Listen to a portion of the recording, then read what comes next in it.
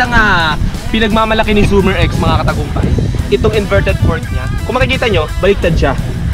Ang maganda dito kay Zoomer X mga katagumpay, meron siyang idling stop. Pero ito, recommended ko din to kasi meron siyang kickstart.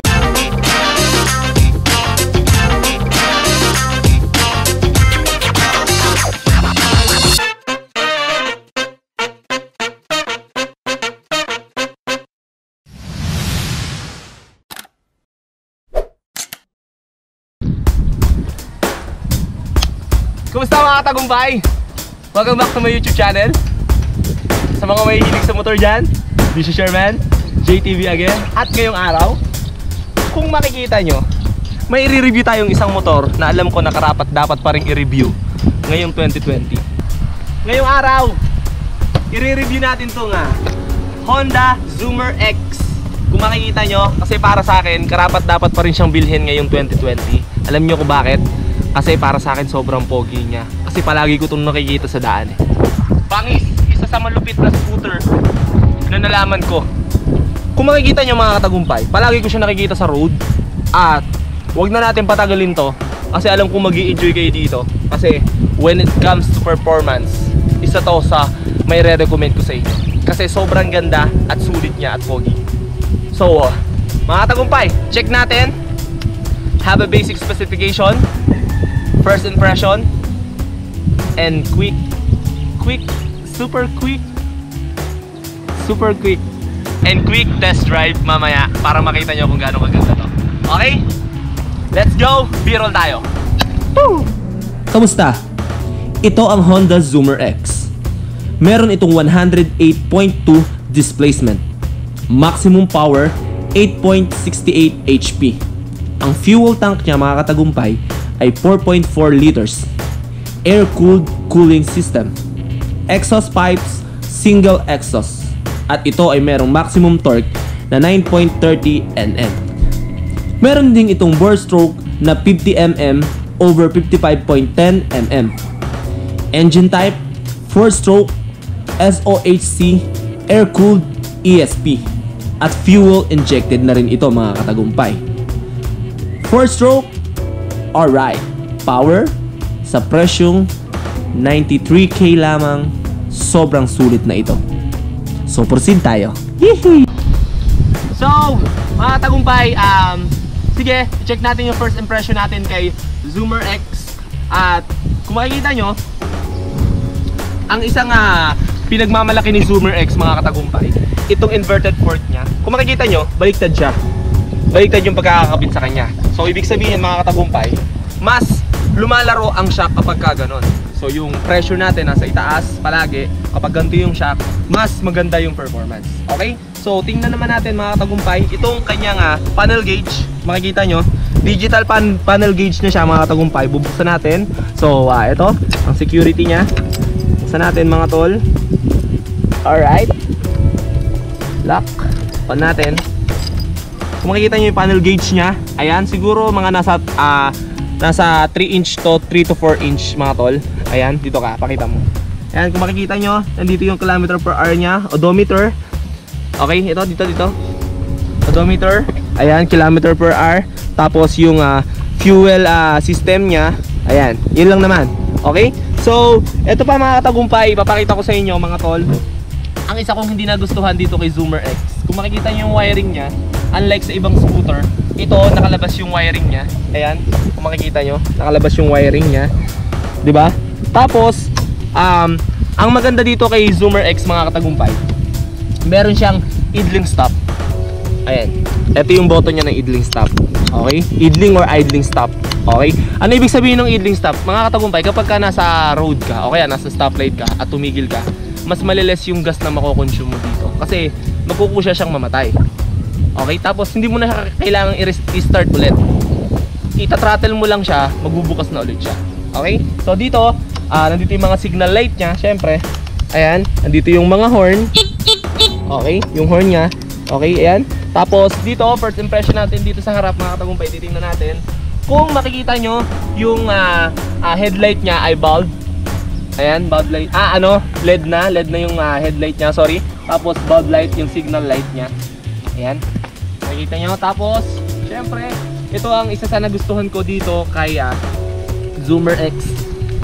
Ang mga scooter ngayon, mga katagumpay, wala siyang kickstart. Ito, meron tong kickstart. Kaya recommended ko siya. Bakit? Napaka-importante din tong kickstart, mga katagumpay. Kasi kapag nawalan ka na ng electric, electricity sa daan or nag-collapse yung ah, battery mo, wal, wala ka ng kickstart. Ito, may kickstart to, kaya makakatulong to. Recommended ko to for long ride. Okay? So, recommended din naman yung mga NMAX ngayon, paniba, yung mga bagong NMAX ngayon, mga PCX. Pero ito, recommended ko din to kasi meron siyang kickstart. Tulad ni ah, Yamaha Gravis, di ba? Hmm. Pre, Yamaha Gravis. Okay? Kaya, good na good ako dito. Tapos, mga tol, pakita ko sa inyo itong uh, kanyang ah, um, compartment. Off natin. Buksan natin yung compartment niya. Natuwa ako sa compartment niya, mga katagumpay. Buksan natin, ha. Buksan natin yung compartment niya. Tingnan yung compartment niya. Kasyang-kasya ang isang half ang isang ah, half face helmet dito. Tapos, sa mga may hilig mag-adventure dyan, mag-gym dyan, kasyang-kasya to dito. Pakita mo tol, dito sa sa harap, sa harap, dito ka sa harap. Pakita mo. Butas siya dito sa harap. Ayan. Butas siya dito sa harap. So, kung meron kayong mga bag, ito, kung meron kayong mga bag na mga pahabang bag, pwede yan dito. Okay, mahaba siya. Pwede siya dito, lusot siya dito. Kasi nakakita ko dito mga katagumpay na merong gamit nito na Zoomer X. Meron siyang skateboard. Kasya siya dito. Okay, so ibig sabihin, mal- malaki din yung compartment niya. Ah, pwede mo rin siyang ah, lagyan ng mga maraming gamit kung ikaw ay ah, mahilig sa adventure. Balik natin tong half face helmet niya.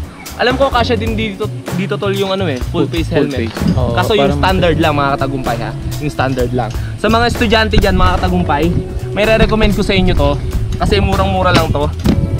Kayang-kaya ng mga estudyante to mga katagumpay kasi sa school, um, sasabihin ko na sa inyo mga katagumpay ha, si Zoomer X, hindi siya yung uh, ina-expect nyo na pang speed. Okay? Kung gusto nyo, speed yung hanap nyo, mabilis na motor, hindi ito yung para sa inyo. Pero kung performance ang ah, pinag-uusapan, tsaka yung good handling, okay na okay sa inyo to mga katagumpay. Kasi sobrang lupit niya para sa akin. Ang ganda niya. Mamaya bibigyan ko kayo ng ah, test drive kung gano'ng kaganda siya sa road. Okay? So tingnan naman natin mga katagumpay, yung Ah, mamaya na yung tank niya. Papakita ko sa inyo yung tank niya. Ito nga um um yung light niya dito, signal light, niya sa huli. light. Lahat to ay bulb light siya. Okay? So pwede niyo i-customize. Okay? Bulb light lahat 'yan. Okay? Tapos tingnan natin mga tagumpay itong ah kanyang ah fuel tank. Tingnan natin itong fuel tank niya. Andito yung fuel tank niya mga tagumpay kung mapapansin nyo. Katulad ni ah, Yamaha NMAX, andito yung fuel tank. Parehas lang sila. Alright? Buksan natin. Ayan. Ayan. Huwag natin buksan. Okay. Ayan. Ayan ang fuel tank niya. Ang fuel tank niya mga katagumpay ay 4.2 liters. Konti-konti lang ang lamang ni Aerox kasi si Aerox ay 4 4.6. Di ba? Ayun. So, yun lang. Tapos, um, madagdag ko lang mga katagumpay, uh, recommend ko tong bike na to sa mga 5'8 pababa. Anong height mo to? 5'8. 5'8 to. Recommended ko sa iyo to. Pwede to sa'yo. Pero sa akin mga 6 flat pataas, hindi ko recommended. Kasi kung mapapansin nyo mga katagumpay, first impression natin, pakita mo yung tuhod. 6 flat ako, yung tuhod ko halos lampas na dito. Ito. Lampas na dito yung tuhod ko, makikita nyo. Ayan, tsaka sobrang taas na. So bakit hindi ko recommended sa matatangkad? Kapag liliko ako, ito sumasabit na yung paa ko. Makikita nyo. Sumasabit na yung paa ko pag liliko ako. Ayan, sumasabit na. So hindi siya recommended sa matatangkad mga katagumpay. Okay? So mga katagumpay, have a quick test drive na na tayo. Check natin yung performance niya, papakita ko sa inyo. So, lagyan natin ng susi. Start start natin. Ayaw mag-start. ha, oh, di ba? Kung bakit ayaw mag-start? Simple lang. Meron siyang security. Kasi naka-stand pa siya mga katagumpay. Okay, naka-stand pa kasi siya. Kaya hindi siya mag-start. So, press nyo lang ito. Alright. Gaya pala siya ng Miosol Ayman. Oo, security. Di ba? Hmm. Kaya yung security na yon, hindi basta-basta magagalaw ng mga anak nyo, ng mga kung sino man, kung hindi alam yon. Okay, so try na natin. Bigyan mo ako ng montage tol, dadaan-daan ako sa'yo, ha?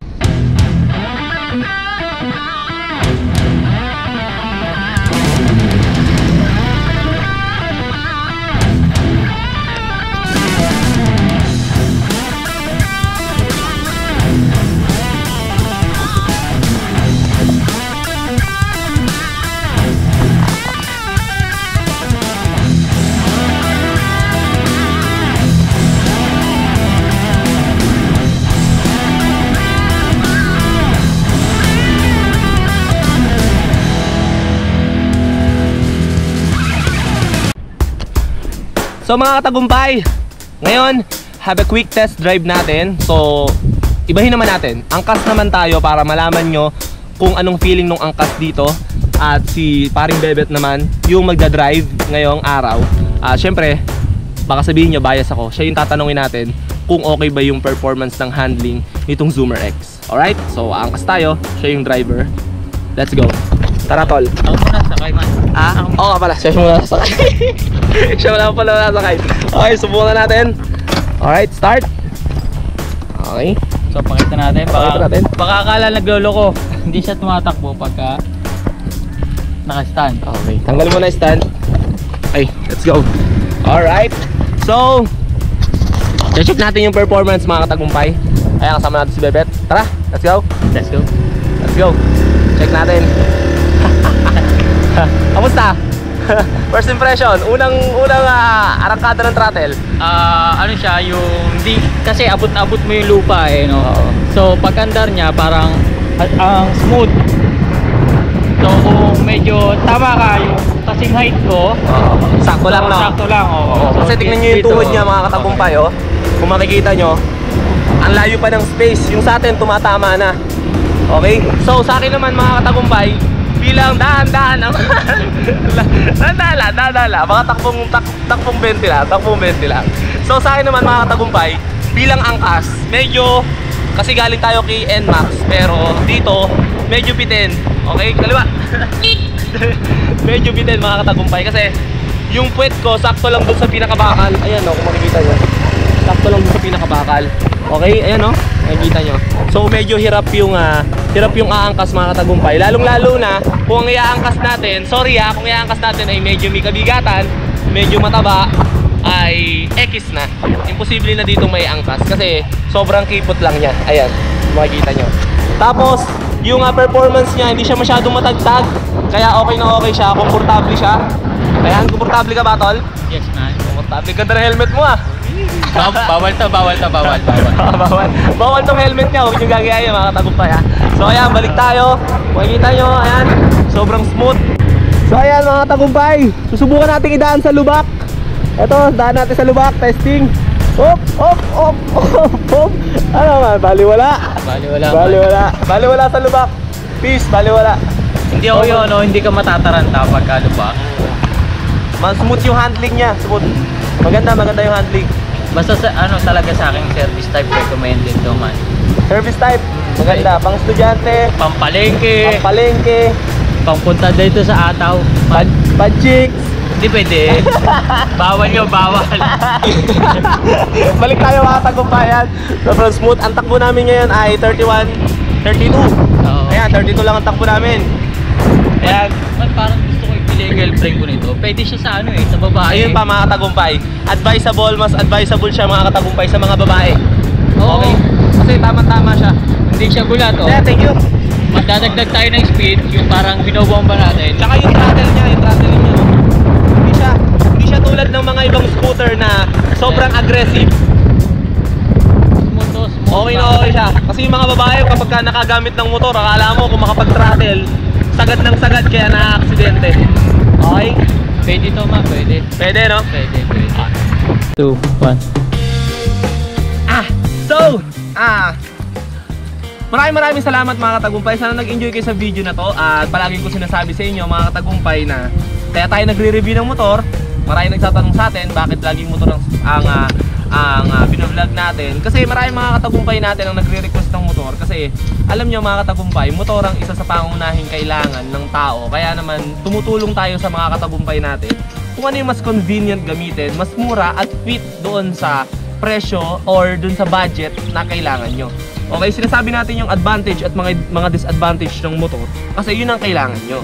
Okay? So para sa akin, kung ah, hindi ka naman speed ang hinahanap sa isang motor, para sa akin, okay na okay to sa Zoomer X sa akin para sa inyo. Kasi performance, handling, tsaka yung ah, yung ah, tires niya ay nakakasiguro daw sa inyo mga katagumpay na safe siya. Okay? So, salamat kasi 30k subscriber na tayo at wala pa rin nananalo doon sa long sleeve or yung rider jersey na pinaraffle natin kasi wala pang nakakasagot ng tama. Ayun yung video na huli nga pinost ko. Okay? So gusto ko rin magpasalamat mga katagumpay kay Sir Sylvester okay, na nagpahiram sa atin ng motor. Sir, maraming maraming salamat from Engineering Department dito sa Cabuyao City. Sir, maraming maraming salamat. Ang ganda ng scooter mo. Kung nakita ko to siguro nung una at budget budget friendly, ito yung kinuha ko. Alright? Kasi swak na swak sa budget ko, tsaka hindi ako pinapabayaan sa daan. Gusto ko rin pasalamatan mga katagumpay, si Gilbert. Ito, papakita ko sa inyo. Ayan. Tol, salamat tol. Thank you sa pagsama. Wala ka ba siya shoutout dyan? Siyempre yung girlfriend ko lagi. Shout out. Okay, ano masasabi mo dito sa motor?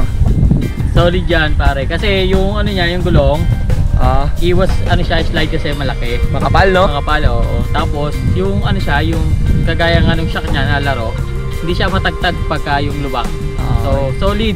Service type, ito, kesa Mio Sporty, siguro. Para sa akin, no?